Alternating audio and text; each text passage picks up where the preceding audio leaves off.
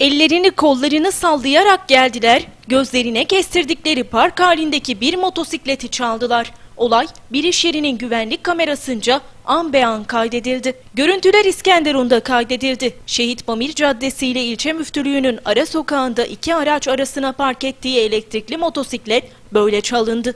18'li yaşlarda olduğu anlaşılan iki genç park halindeki motosikletin yanına geldi. Biri etrafı kolaçan ederken diğeri de motosikletin direksiyon kilidini kırmaya çalıştı.